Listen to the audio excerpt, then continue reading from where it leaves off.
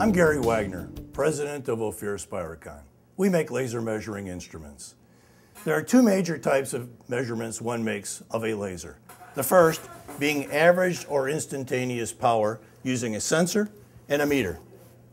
The second is spatial distribution of the power across the beam. Those are configured either using a camera-based system or a slit-based system. There are over 100 different heads and multiple configurations of both cameras and scanning slits. In this video, our sales engineers will teach you what you need to consider when choosing a beam profiling system.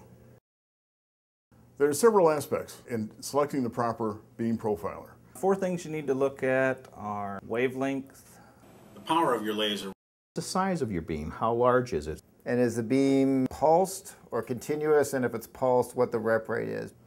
If we know those four aspects of the, of the laser, we can then determine uh, the best profiling uh, equipment for that application.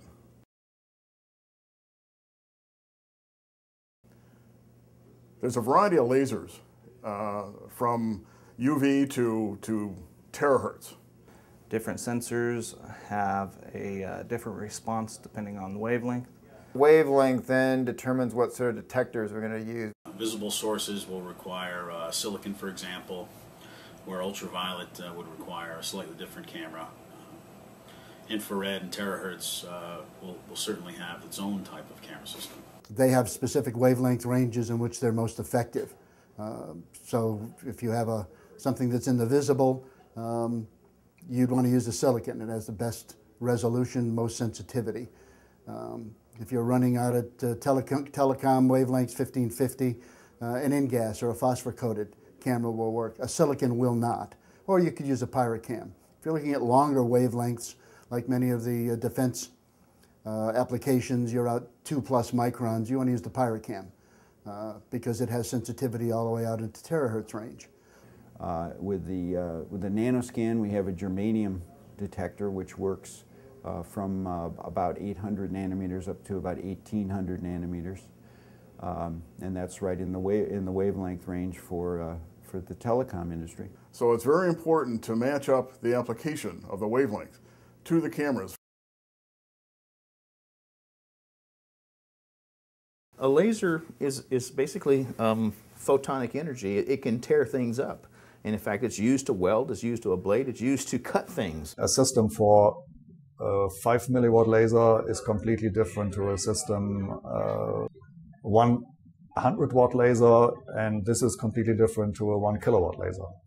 The power is, is important to know for uh, several reasons. One, do I have enough power to use a pyro detector? Do I have to use a silicon or germanium detector?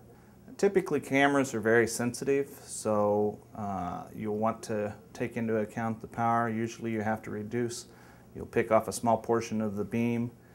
And if you have a high power in a very tiny space, that's the size of your laser, if we put too much power in a tiny space and you stick it directly on your sensor, you're going to blow a hole in it. Uh, lasers with too little power uh, may require the beam to be expanded.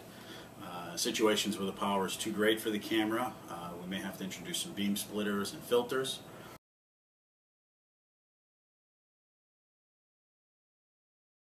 Spot size will help you determine uh, whether you need to add any additional optics or whether you can uh, take the beam uh, directly onto the sensor. And you need to illuminate at least a certain number of pixels to get an accurate reading. If you overfill the sensor, the detector, if your beam is much, much larger than that, then you're not going to get a proper profile. It doesn't matter what you do. You're just going to overfill it and you're just going to see a solid thing. You're not going to get the edges. You're not going to get the information outside that you absolutely have to have. Beams that are too large to clear the aperture or fit on the array will need to be reduced. Beams that are too small may have to be expanded.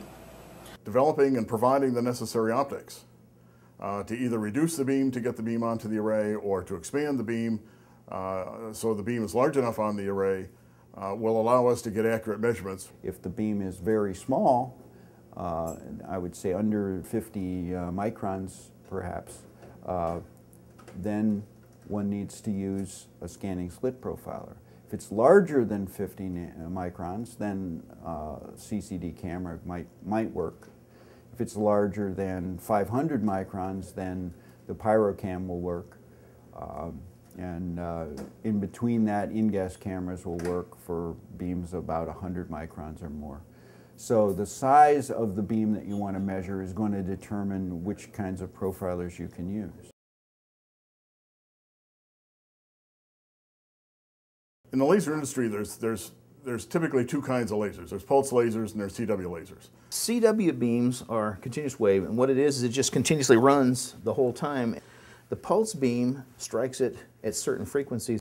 Cameras operate at a, typically a certain frame rate, and various cameras operate at high frame rates, others operate at very low frame rates. Uh, with a CW beam, it really doesn't matter. You can use any camera we've got, uh, keeping in mind the other factors of the criteria needed.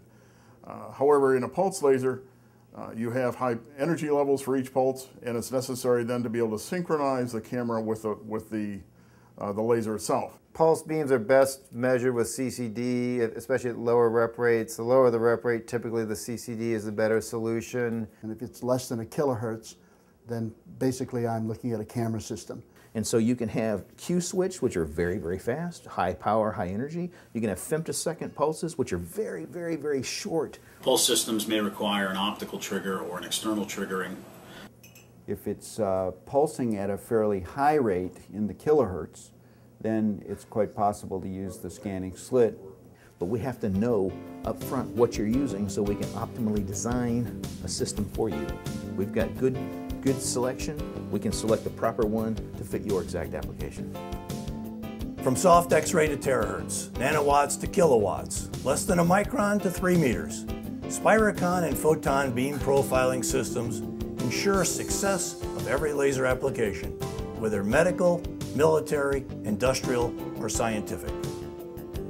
Call 866-755-5499 to discuss your laser application with a Spiricon sales engineer. Or visit us on the web. Ophir Spiricon, the true measure of laser performance.